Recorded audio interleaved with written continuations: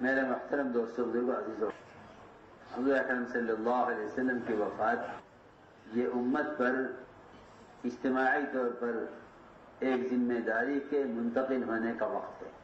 جتنا بڑا یہ حادثہ تھا، اتنی ہی بڑی امت پر یہ ذمہ داری تھی۔ اس لیے کہ ہر شخص جانتا ہے کہ ہر مرنے والے کی وراثت کو اس کے متعلقین میں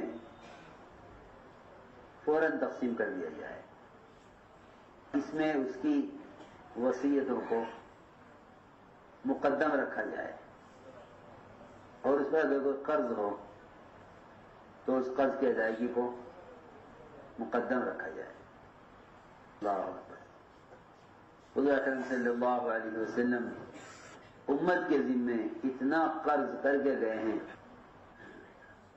اور اتنا امت کو دے کر گئے ہیں کہ امت کے ذمے ہے کہ سب سے پہلے آپ کی محنت کو اپنی زندگی کا مقصد بنا کر قیامت تک آنے والی امت مسلمہ، امت دعوت اور امت اجابت دونوں تک دین کے پیغام کو پہنچانا، یہ آپ کی سب سے پہلی وصیت ہے اور یہ آپ کی سب سے قیمتی وراثت ہے۔ علماء کو وارث بنایا، علماء کو وارث بنایا علماء کو وارث بنایا۔ صرف علم کا وارث نہیں بنایا، بلکہ اس علم کو مت تک پہنچانے کا وارث بنایا علماء کو انبیاء کا وارث کہنا اتنا آسان نہیں ہے۔ اتنا آسان نہیں اور علماء کا اپنے آپ کو انبیاء کا وارث سمجھنا اتنا آسان نہیں ہے۔ اس وراثت کا تقاضا یہ ہے کہ امت تک علم کو اس طرح پہنچاؤ، جس طرح آپ نے پہنچایا اور جس طرح آپ نے اپنے صحابہ سے امت تک علم کو پہنچوایا۔ اس طرح امت تک علم کو پہنچانا یہ وراثت کا تقاضا ہے۔ اور یہ آپ کی وصیت ہے امت کو۔ آپ کی وصیت ہے امت کو۔ اجتماعی طور پر جو پورے تمام صحابہ کو جمع کر کے جو آپ نے وصیت فرمائی ہے نا، وہ سب سے اہم وہ یہ ہے کہ جو حاضر ہیں وہ غائب کو پہنچا دیں۔ جو حاضر ہیں وہ غائب کو پہنچائیں۔ آپ نے حجت الوداع پر بھی یہی فرمایا اور حضور اکرم صلی اللہ علیہ وسلم کا آپ کا کمرہ، آپ کا غرفہ کتنا ہوگا؟ چھوٹا۔ وہاں جو صحابہ جمع تھے، اگر آپ ان سے کوئی بات فرمائی تو جو لوگ حجرے سے باہر تھے، اندر نہیں آ سکے تھے، تنگی کی وجہ سے ان حجرے کے اندر والوں سے فرمایا کہ تم باہر والوں کو پہنچا دو۔ یہ بھی روایت میں ملتا ہے۔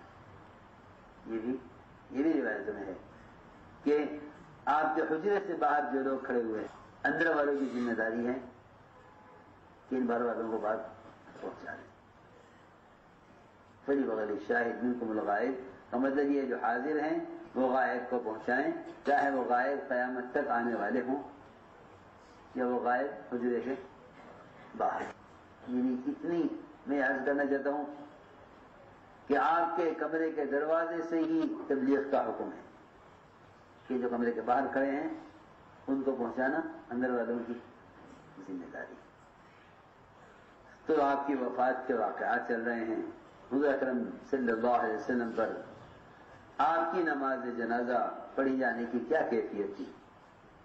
فرماتے ابن عباس رضی اللہ تعالیٰ عنہ کہ جب آپ کی وفات ہو گئی۔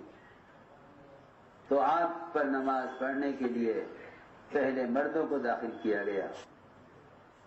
مردوں نے آپ پر نماز پڑھی بغیر امام کے۔ بغیر؟ بغیر امام کے؟ کیوں؟ آپ تو امام الانبیاء اور امام العمہ اور امام الخلافہ اور امام امت ہے آپ کا؟ آپ کو کوئی امام؟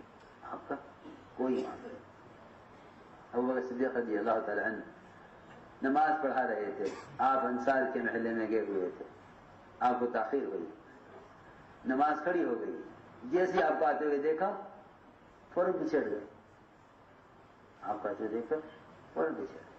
اس لیے کہ آپ نے صحابہ کو یہ سکھلایا تھا کہ جس شخص کا جو مقام ہے، اس کو وہاں رکھا جائے.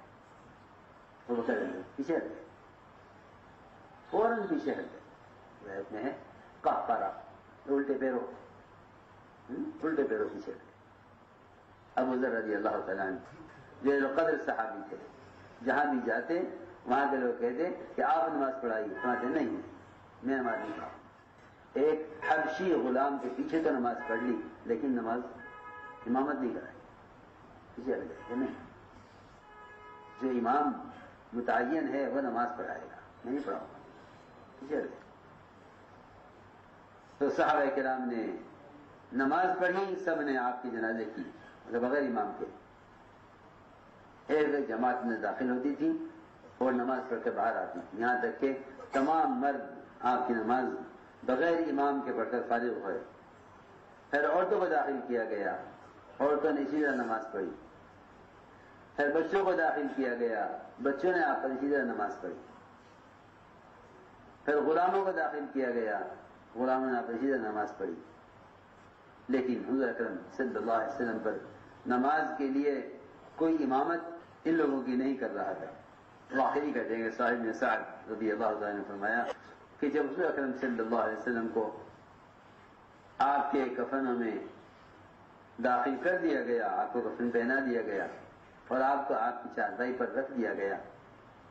اور پھر آپ کی چارپائی کو قبر کے کنارے رکھ دیا گیا۔ تو لوگ جماعت جماعت ہو کر اندر داخل ہونے لگے۔ کوئی ان کی امامت نہیں کر رہا تھا۔ مسائل محمد ابن ابراہیم فرماتے ہیں کہ میں نے اپنے والد کے پاس ایک تحریر لکھی ہوئی دیکھی، جس میں لکھا ہوا تھا جب حضور اکرم صلی اللہ علیہ وسلم کو کفن پہنا دیا گیا اور آپ کو آپ کی چارپائی پر رکھ دیا گیا۔ تو ابو بکر، عمر رضی اللہ عنہما اور ان کے ساتھ مہاجر انصار کی ایک جماعت۔ اتنے لوگ اندر داخل ہوئے ان کے ساتھ جتنے کمرے میں آ سکتے تھے۔ ان دونوں نے اندر داخل ہو کر کہا، السلام علیکم ایوہ النبی ورحمۃ اللہ وبرکاتہ۔ اسی طرح مہاجرین اور انصار نے سلام کیا، جس طرح بکر عمر نے سلام کیا آپ کو۔ یہ سلام ان حضرات نے آپ کی وفات کے بعد کیا۔ جنازہ رکھا ہوا تھا، انہوں نے آ کر اس طرح سلام کیا۔ السلام علیکم ایوہ النبی ورحمۃ اللہ وبرکاتہ۔ مہاجرین، انصار نے بھی اسی طرح سلام کیا، جس طرح بکر عمر رضی اللہ عنہ نے سلام کیا۔ پھر انہوں نے صف لگا لی، لیکن کوئی ان میں سے امامت نہیں کر رہا تھا۔ ابو بکر عمر رضی اللہ عنہ یہ دونوں پہلی صف میں تھے۔ حضور اکرم صلی اللہ علیہ وسلم کے بالکل آپ کے چہرے کے مقابل انہوں نے دعا کی۔ انہوں نے یہ دعا کی۔ اے اللہ، ہم گواہی دیتے ہیں کہ جو کچھ ان پر نازل کیا گیا، انہوں نے امت تک پورا پورا پہنچا دیا۔ اے اللہ، انہوں نے اپنی امت کے ساتھ خیر خواہی کی میں کوئی کسر نہیں چھوڑی۔ اور اللہ کے دین کی محنت میں، اللہ کے راستے کی محنت میں کہا ادا کیا ہے۔ یہاں تک کہ اللہ نے اپنے دین کو عزت دی اور اللہ کے وعدے پورے ہو کر رہے۔ میں اللہ پر ایمان رکھتا ہوں، وہ جو تنہ تنہا ہے، اس کا کوئی شریک نہیں ہے۔ اے ہمارے معبود، ہمیں ان لوگوں میں سے کر دیجیے جنہوں نے ایک ایک اس بات کا اتباع کیا ہے جو محمد صلی اللہ علیہ وسلم پر نازل کی گئی ہے۔ اور ہمیں اور آپ صلی اللہ علیہ وسلم کو قیامت میں ایسا ایک جگہ جمع کر دے، یہاں تک کہ تو ان کا تعارف ہم سے کرائے، ہمارا تعارف ہم سے کرائے۔ اس لیے کہ حضور اکرم صلی اللہ علیہ وسلم تمام مؤمنین پر مہربان تھے، بڑے شفیق تھے۔ اور اے اللہ، ہم اس ایمان کا، اس دولت ایمان کا اور اس نعمت ایمان کا دنیا میں اس کا کوئی بدلہ نہیں چاہتے۔ ہم ایمان کر دنیا میں کوئی بدلہ نہیں چاہتے۔ اور ہم کبھی اس ایمان کو کبھی اس ایمان کو بیچیں گے نہیں۔ کبھی اس ایمان کو بیچیں گے نہیں۔ اس کے بدلے کوئی مال یہ ایمان کے بدلے کوئی دنیا کبھی نہیں خریدیں گے۔ یہ دعا مانگ رہے تھے۔ اب وقت عمر رضی اللہ عنہ۔ اور ہم لوگ پیچھے دعاؤں پر آمین کہہ رہے تھے۔ اس طرح لوگ داخل ہوتے رہے۔ اور نماز پڑھ پڑھ کر نکلتے رہے۔ پہلے مردوں نے پڑھی، پھر عورتوں نے پڑھی، پھر بچوں نے نماز پڑھی آ کی۔ عبداللہ بن محمد ابن عمر ابن علی نبی طالب اپنے والد سے مزاج سے نقل کرتے ہیں۔ کہ جب حضور اکرم صلی اللہ علیہ وسلم کو چارپائی پر رکھ دیا گیا، تو یہ فرمایا علی رضی اللہ تعالیٰ عنہ نے کہ آپ کی امامت کے لیے کوئی کھڑا نہیں ہوگا امام بن کر۔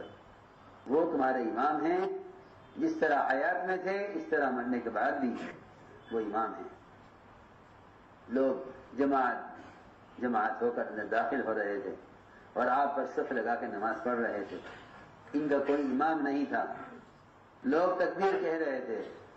اور علی رضی اللہ تعالیٰ عنہ، حضور اکرم صلی اللہ علیہ وسلم کے بالکل مقابل کھڑے ہوئے تھے اور فرما رہے تھے، السلام علیکم نبی و رحمۃ اللہ وبرکاتہ۔ اور یہ کہہ رہے تھے، اے اللہ، ہم تجھے گواہ بناتے ہیں اس پر کہ جو کچھ آپ پر نازل کیا گیا ہے، آپ نے پورا پورا پہنچا دیا اور آپ نے اپنی امت کے لیے خیر خواہی میں کوئی کمی نہیں چھوڑی اور اللہ کے راستے کی کی محنت میں آپ نے اللہ کے راستے کی محنت کا حق ادا کیا ہے۔ یہاں تک کہ اللہ نے اپنے دین کو قوت دی اور اللہ تعالیٰ کے وعدے اس کا دین مکمل ہو گیا۔ اے اللہ، ہمیں ان لوگوں میں سے بنا دے جو آپ پر نازل ہونے والے احکام کا اتباع کریں۔ اور آپ کی وفات کے بعد ہمیں دین پر ثابت قدم رکھ اور ہمیں اور آپ کو قیامت میں جمع کر دے۔ یہ دعا مانگ رہے تھے اور لوگ آمین کہہ رہے تھے۔ یہاں تک کہ آپ پر پہلے مرد نے نماز پڑھی، پھر عورتوں نے، پھر بچوں نے۔